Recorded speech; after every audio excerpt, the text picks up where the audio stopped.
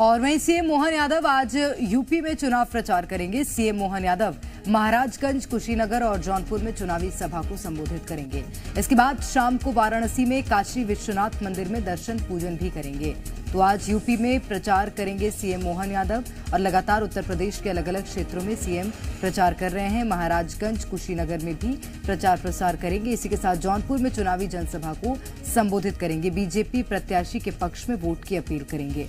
और उसके बाद शाम को वाराणसी में काशी विश्वनाथ मंदिर में दर्शन करने भी जाएँगे। मुख्यमंत्री डॉक्टर मोहन यादव जो लगातार उत्तर प्रदेश के दौरे पर हैं। मुख्यमंत्री मोहन यादव इससे पहले भी अलग अलग जगहों पर जनसभाओं को वो संबोधित कर चुके हैं और भारतीय जनता पार्टी के पक्ष में लगातार माहौल बनाने की कोशिश उनकी तरफ़ से की जा रही है, क्योंकि स्टार प्रचारक हैं। मध्य प्रदेश में भी चौथे चरण में ही चुनाव संपन्न हो चुके हैं और अब सिर्फ़ चार जून का इंतज़ार है और यही वजह है कि मुख्यमंत्री अब दूसरे राज्यों में ज़्यादा सक्रिय नज़र आ रहे हैं।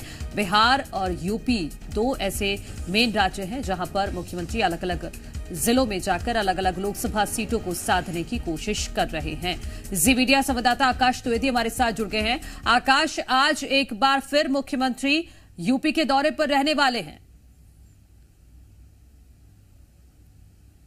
बिल्कुल, और तीन लोकसभा क्षेत्रों में पार्टी प्रत्याशी के पक्ष में जनसभा को संबोधित करते हुए वोट की अपील मुख्यमंत्री करेंगे।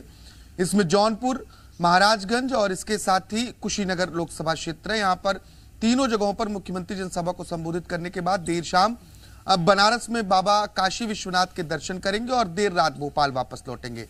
दरअसल Bharatiya Janata party Yadav vote bank में सेंध लगाने के लिए मुख्यमंत्री डॉक्टर मोहन यादव को अलग अलग राज्यों में भेज रही है और उत्तर प्रदेश में अभी चुनाव चल रहे हैं और यहाँ पर सपा के आधिपत्य की वजह से जो यादव वोटर्स हैं उन्हें तोड़ने की कोशिश मुख्यमंत्री मोहन यादव के ज़रिए की जा रही है। यही हाल लगभग बिहार में भी देखने को मिल रहा है।